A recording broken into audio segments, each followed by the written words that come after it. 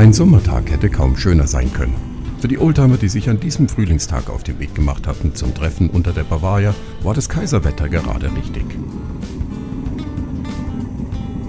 Hunderte klassische Automobile, Zweiräder und Nutzfahrzeuge stellten am vergangenen Sonntag ein beeindruckendes Bild der Klassikerszene auf die Beine. Organisiert hatte dieses 15. Treffen, zu dem nach Schätzungen rund 5000 Oldtimer gekommen waren, wie jedes Jahr der Automobilclub München von 1903 e.V. im ADAC.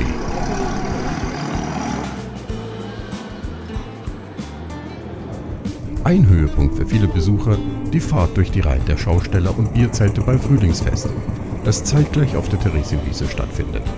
Eine Art kleines Oktoberfest im Frühling.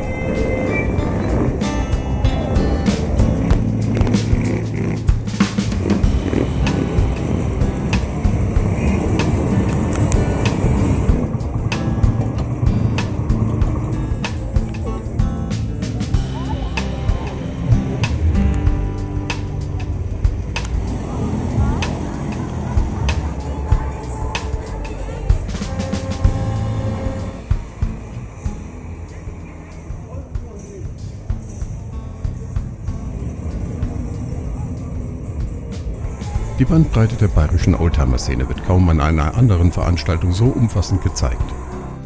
Für viele Clubs und Gleichgesinnte war das Treffen auch Anlass, gemeinsam Aufstellung zu nehmen und sich zu präsentieren.